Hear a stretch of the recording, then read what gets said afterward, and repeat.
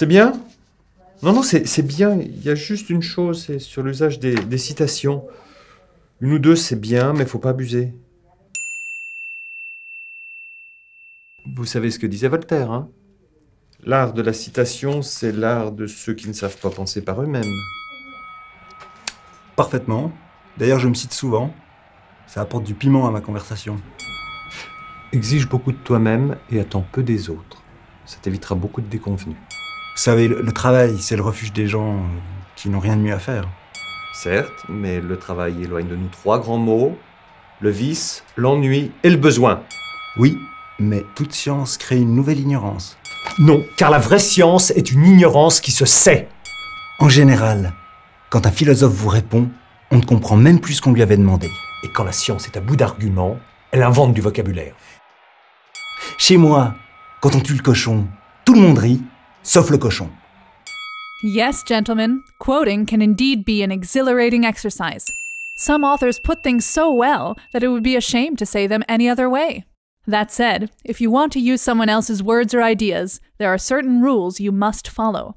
The most important thing is that someone who reads your paper must be able to distinguish the other author's ideas from your own. Specifically, when you want to include someone else's words or ideas in your academic work, you have two options. Direct quotation. This is a precise reproduction of the author's exact words. If you choose this option, you must use quotation marks. There are two ways to present a quotation, depending on its length. Short quotations are inserted directly into your text and set off from your own words by quotation marks. Long quotations, three lines or longer, are set off from the body of the text. They are usually indented and appear in different formatting. Paraphrasing doesn't mean just replacing one of the author's words with one of your own. Rather, you reproduce and internalize the thoughts of an author by reformulating them in your own words and incorporating them into the structure of your own ideas. Use quotations appropriately. Don't distort an author's ideas by taking them out of their context. If you want to make use of an author's arguments, you must know those arguments well. Be careful, however, that you don't go overboard like Jules. The use of a few well chosen quotations will enhance and shore up your work, but using too many will detract from it. Quotations and paraphrases can be used to improve your paper by providing commentary, a reference, or a demonstration, lend credibility to your work, identify the documents that you consulted while writing your paper.